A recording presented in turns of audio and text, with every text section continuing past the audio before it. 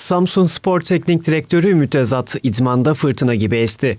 Alanya Spor maçına oyuncularını her açıdan en üst seviyede çıkarmak isteyen genç teknik adam yoğun çaba harcıyor. Özat fırtınası önce çift kale maç sırasında yaşandı. Sık sık oyunu durduran başarılı teknik adam sahaya girerek futbolcularına uyarılarda bulundu. Daha sonraki bölümde oyuncularının başarılı hareketler yapmasıyla yüzü gülen Ümit Özat bu kez onlara övgü dolu sözler sarf etti. Başarılı teknik adam aslanlarım benim bravo size diyerek öğrencilerinin moral motivasyonunu en üst seviyeye çıkardı. Öte yandan idmanın sonunda Başkan Erkut Tutu Özat'la kısa bir görüşme yaptı. Samsun Spor Lig'in 8. haftasında oynayacağı Alanya Spor maçına günler öncesinden gidecek. Kırmızı Beyazlı ekibin teknik heyetin isteği doğrultusunda Alanya'ya çarşamba günü gideceği öğrenildi.